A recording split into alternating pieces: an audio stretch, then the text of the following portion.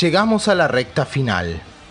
Honestamente no quiero hablar de Dragon Ball en un largo tiempo, pero bueno, aquí vamos. Este arco se intentó manejar diferente y esto es algo que se nota a simple vista. Primero, es un arco de torneo, por lo que las peleas serán el enfoque. Aquí no la pueden cagar. Hagamos de cuenta de que aprendieron algo con los tres últimos arcos y uno de ellos que ya fue de torneo. Y por un momento empezamos a creerlo. Nos dan un nuevo opening con todo el power y de repente notamos que se acordaron de cómo dibujar a Mr. Satan y a Gohan. En serio, ¿de quién fue la idea de que Mr. Satan sea un negro anoréxico? Se retocó un poco la animación reforzando los bordes, haciendo que estos parezcan menos apresurados y agregando efectos de iluminación. Este es un recurso que se utilizaba bastante en las películas. En fin, se nos presenta un torneo entre guerreros de los 8 universos diferentes en un combate estilo Battle Royale, donde cada universo que perdiera a todos sus luchadores será eliminado, creando cierta tensión, ya que hay personajes queridos que no necesariamente eran del universo 7, el universo de nuestros protagonistas, marcando la cuestión de qué va a pasar al final. Obviamente todos ya sabemos lo que va a pasar al final, así que hagamos de cuenta de que la serie por un momento no se llama Dragon Ball Super. Se generan unos cuantos capítulos de preparación para el torneo donde Goku recluta a sus compañeros y esto trae de vuelta personajes como número 17 y Freezer. Llama la atención cómo la serie en la necesidad de darle relevancia a personajes que dejaron de serlo hace mucho tiempo, se los bustea grotescamente sin razones claras.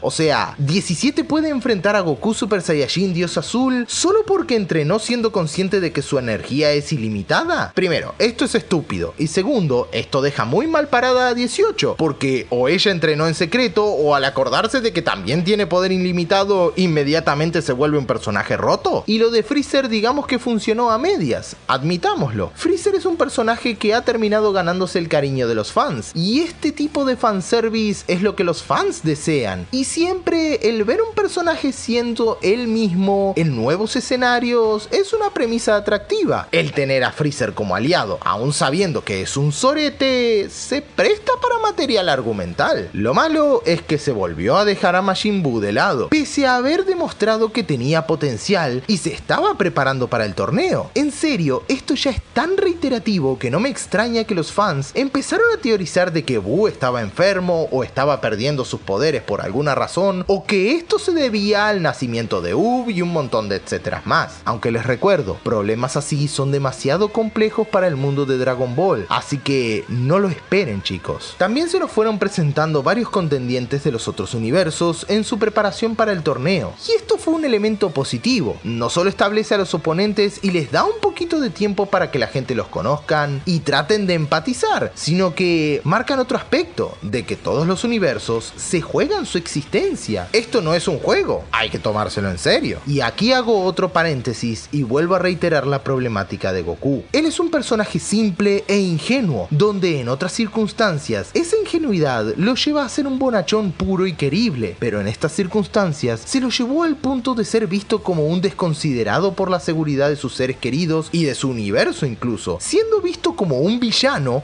para los demás universos. Esto no es un malo escenario per se, pero es malo para Goku porque no cuadra con su personaje, causando cierto rechazo y confusión como es de esperar. Ahora bien, aquí se nos plantea un escenario poco visto en Dragon Ball, un torneo formato Battle Royale donde los 10 participantes de cada universo se enfrentan entre sí y se tratan de eliminar los unos a los otros durante un periodo de tiempo de 45 minutos. De más está decir que 45 minutos son más de un año de transmisión de episodios, con 5 minutos remontaron una temporada, imagínense esto ahora multiplicado por 9. Nosotros estamos acostumbrados a ver peleas individuales con un solo objetivo a vencer. Aquí se plantea una lucha por sobrevivencia, donde no solo tenemos a los personajes ya presentados, sino posibles nuevas amenazas, sin mencionar personajes con estilos de combate diferentes y particulares que pueden abrir una gama de nuevos escenarios de combate. Solo hay un pequeño inconveniente. Hagamos una comparación con un juego que subsiste funciona en base a la fórmula del caos, Super Smash Bros. En estos juegos se llegan a producir combates de hasta 8 oponentes dándose palizas entre sí en un caos. Es un lío, pero aún así divierte. Y repetimos esta fórmula infinitas veces. En Dragon Ball no se puede emplear correctamente porque a diferencia de Super Smash, los personajes tienen un setup previo muy pobre. Es decir, exceptuando los personajes que aparecieron en arcos anteriores, los protagonistas y uno que otro personaje que se mostró al inicio del arco, se sabe muy poco de los mismos, al punto que no te dan tiempo para asimilarlos y mucho menos empatizar con ellos, resultando nada más en favoritismos estéticos, los cuales llevan a un fanservice vacío. En Smash, los personajes cada uno pertenecen a una franquicia donde tienen sus propios juegos para establecer un setup, para que conozcan a los personajes lo suficiente para entender sus referencias y simplemente enfocarte en el caos que es el juego. Es muy rápido como en Dragon Ball Super nos damos cuenta de quiénes son los personajes que serán carne de cañón para episodios transitorios y de relleno, hasta que se produzca un enfrentamiento interesante con algún protagonista. Y esto incluye, por supuesto, al villano principal de este arco,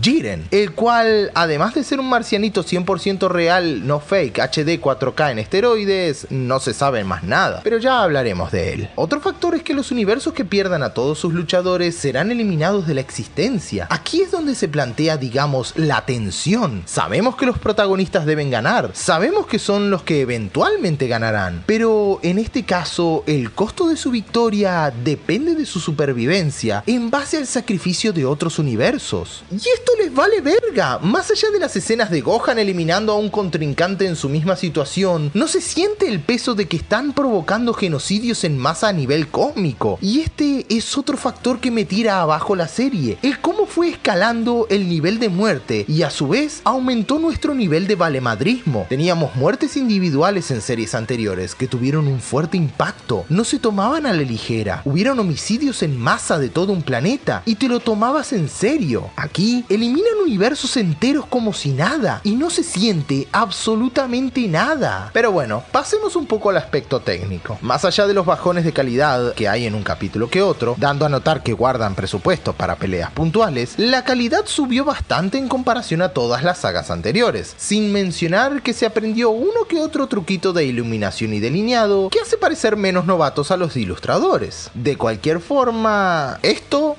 es mucho mejor que esto. Ahora, si nos ponemos quisquillosos, las peleas en Dragon Ball Super jamás tuvieron un impacto que digamos memorable, ya que en el afán de hacer las escenas verse más épicas, las mismas son rellenadas con efectos de luces o estilos de golpes que pertenecen más bien a One Piece que a Dragon Ball. Luffy está hecho de goma, Goku no. Y no nos olvidemos del reciclaje de escenas. Si te gustaron las cinemáticas del opening, pues prepárate para verlas una y otra y otra y otra vez. Y ahora Pasemos a la cereza del pastel, los Power Up. Hace un tiempo escuché que tras el final de Dragon Ball Z se podía hacer una de dos cosas, ir más pequeño, que es lo que resultó siendo Dragon Ball GT, o ir más grande, que es lo que consideramos Dragon Ball Super. ¿Y a qué me refiero con grande? Pues a los Power Levels. Los villanos desde el primero se plantearon como dioses, seres inalcanzables para los humanos, pero los Saiyajin, al parecer, contaban con una leyenda, la cual era la de un Saiyajin que podía alcanzar un estado de Dios, lo que llevó a una nueva transformación, los Super Saiyajin Dios rojo y luego azul. No conformes con esto, vayamos más allá y démosle el Power Up a Goku del Kaioken, técnica que la última vez que se utilizó fue en una saga de relleno en Dragon Ball y que ahora vuelve mágicamente. Pero el torneo nos establece un nuevo límite, la doctrina egoísta. Esta, desde el vamos, es una de las peores ideas que existen. Primero, por su premisa, se lo marca como un poder que solo los dioses alcanzan. Aquí ya quitamos en teoría la importancia de los Saiyajin, ya que técnicamente este estado lo puede alcanzar cualquiera que lleve sus poderes a límites insospechados y logre conectar cuerpo y mente a un estado superior y romper su propio cascarón de sus límites. Técnicamente el ser Saiyajin y haber alcanzado ya todo un arco iris de transformaciones hace que este poder sea alcanzable, y este se volvió el enfoque del torneo. Desde su primera aparición se provocaron dos inconvenientes. El primero era que el poder no estaba completo y el segundo era que se necesitaba presionar mucho el cuerpo para alcanzarlo. Y en el torneo, Goku lo alcanza tres veces. La primera contra Jiren, el cual de lo contrario habría valido pito. Aquí hagamos un parón. Jiren es el peor personaje de Dragon Ball Super. Es un ser todopoderoso porque sí,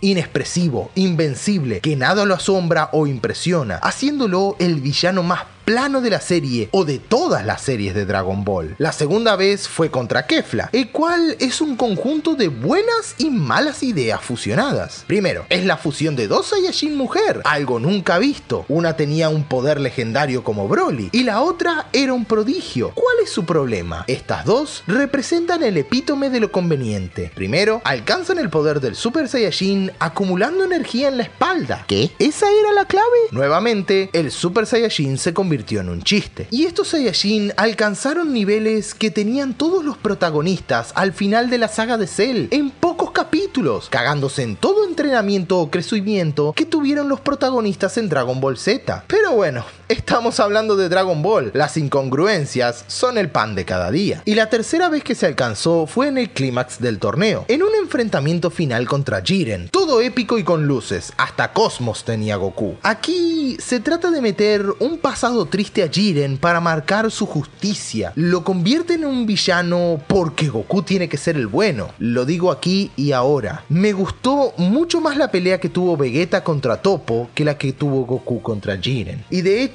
menciono esto, Vegeta ha sido el mejor personaje de la serie y técnicamente él quedó como el más fuerte y se vio muy beneficiado del retraso mental que le hicieron a Goku. Pero bueno, es un punto bueno ante mucho en contra. Y algo típico en todo torneo, Goku no gana, sino que por conveniencia fue Freezer y 17 quienes le salvaron el culo a Goku para que 17 termine ganando y desee que todos los universos vuelvan a la normalidad. Y es aquí donde volvemos a lo de las superesferas del dragón. Desde que se las presentó, ya sabíamos que este sería el desenlace. Esto vuelve irrelevante todo lo que dijeron los Seno, de que esto estaba previsto. Es más, ese fue el recurso más pobre de todos, restándole toda importancia a todo el arco. Voy a aprovechar este punto para hablar de Senosama. La idea de que un enano cabezón con voz chillona completamente impresionable esté en control de todos los universos y de que estos sean conscientes de todo lo que pasa y que hagan lo que se les el pito, nunca me agradó desde un inicio y cada aparición que tuvo no me gustó. El final de la serie resultó sumamente agridulce y terminó en un punto vacío que aún no va más allá del final de Dragon Ball Z. En resumen, la serie es mala, pero por motivos correctos. Es un producto que la gente pedía desesperadamente, pero fue repudiada en el momento en el que cumplieron con sus demandas, porque no es un producto que rivalice con series actuales, que se inspiraron en Dragon Ball, sí, pero la superaron hace mucho tiempo, y quien piense lo contrario está negando una realidad. Esto no hace malo a Dragon Ball, lo hace un producto de su época. Es como considerar el humor de los tres chiflados como la cúspide de la comedia. Pero eso, ¿la hace una mala serie Super? No, porque técnicamente la serie dio que hablar a la gente, todos la miraron. Todos hablaron de ella, los tuvo a todos con el culo en el asiento cada domingo. Así que, para todos los críticos que se dedicaron en tirarle mierda, solo lograron darle más propaganda. Y tú, fanboy, que la encuentras perfecta, no hay nada de malo en que te guste pero tampoco te niegues y te cierres a decir que es perfecta. Dragon Ball Super es un producto que nos enseña que no todo lo que añorábamos antes en el pasado era perfecto y que aún hay espacio siempre y cuando no busquemos que un rey vuelva a su trono. Ah, y se viene una película que se ve bonita. Esto es todo. Seguramente hay mucho más que hablar, pero ya me tomé demasiado tiempo. Yo al menos ya me saqué la espina de hablar de esta serie. A mí, la verdad, sí me gustó. Si no, la habría visto. Es más, no me perdí ningún capítulo y la miraba semanalmente. Pero la recomiendo, sí, porque es una serie inofensiva. Nada más. Soy Dusman y les digo, gracias por acompañarme en estos videos.